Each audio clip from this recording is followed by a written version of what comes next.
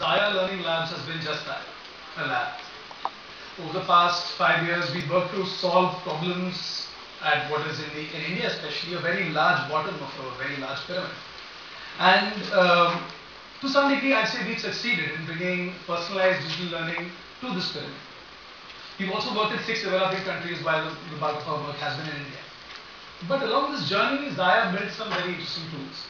We built the English Dunia app, which is uh, a personalized free app for English learning skills, which is English for seven Indian languages. We built uh, the school Wi-Fi device, which is a personal digital library, very simple to use, comparable in user experience to a low-end smartphone.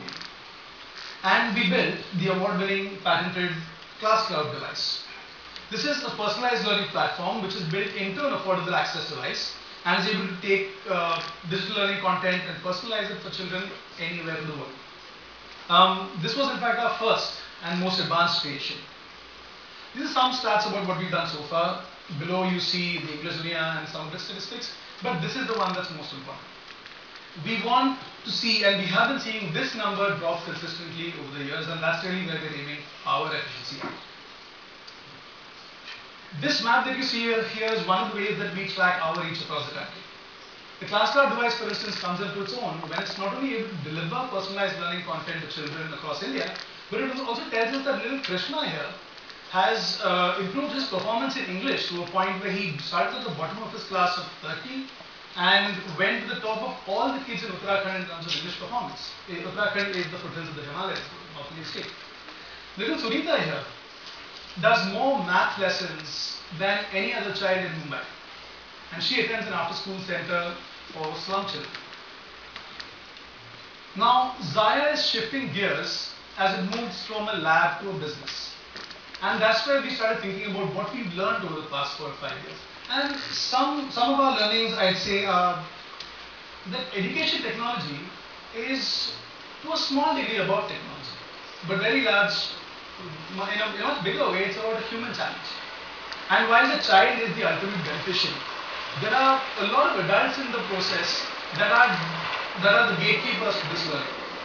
And where we've come to find that the let's say the resistance to change or the friction comes is in their experience. What often we, we tend to do in trying to find the most advanced technology out there is not be sensitive to the learning journeys of the adults in the process. And I mean, in fact, if you think about it, Teachers constitute 33% of a child's learning outcomes uh, by way of contribution. School leaders constitute about 25%. So this is where we think that Zaya's next steps should come from.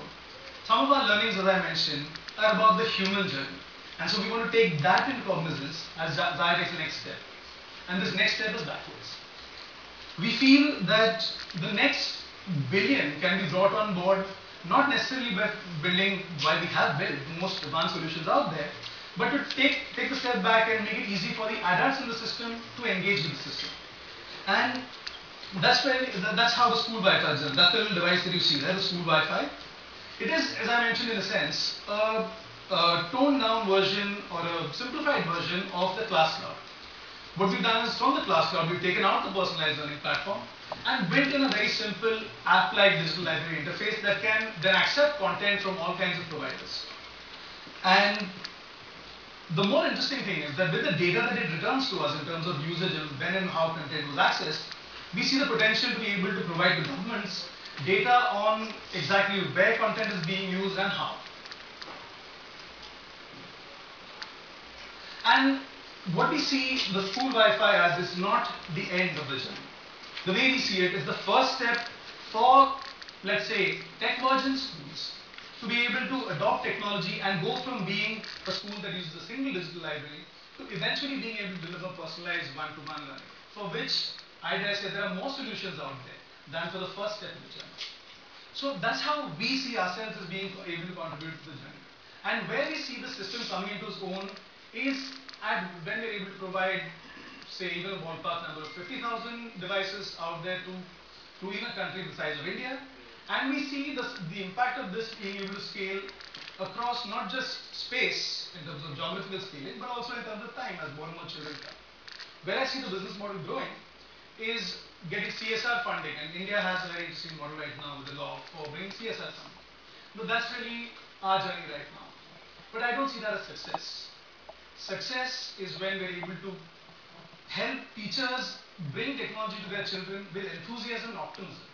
Now, the emotional journey for me is far more important. And that's where I think that there is our potential, the potential exists. That's where I want to work with you to get. Thank you.